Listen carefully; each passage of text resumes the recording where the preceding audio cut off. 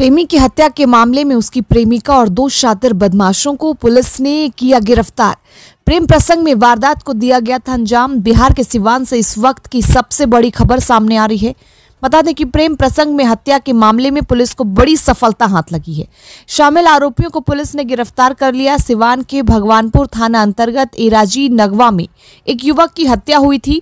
इस मामले में पुलिस ने तुरंत कार्रवाई करते हुए एक युवती समेत तीन को गिरफ़्तार कर लिया है।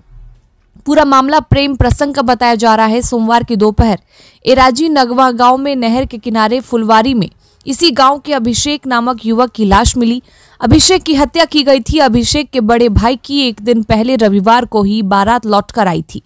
रविवार की रात से रविवार को ही बारात लौट कर आई थी।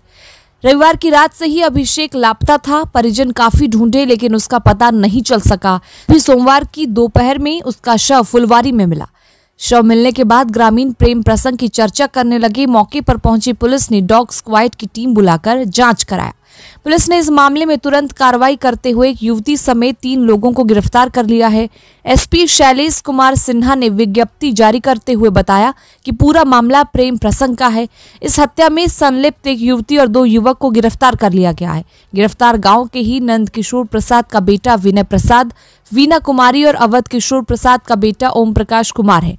गिरफ़्तार आरोपियों के निशानदेही के आधार पर हत्या में प्रयुक्त किया गया दो कुल्हाड़ी, एक मोबाइल और अन्य सामान बरामद किया गया।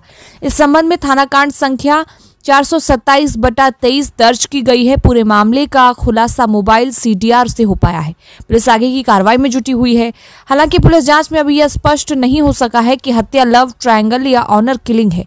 थाना अध्यक्ष संजीव कुमार ने बताया कि सभी एंगल पर जाँच किया जा रहा है।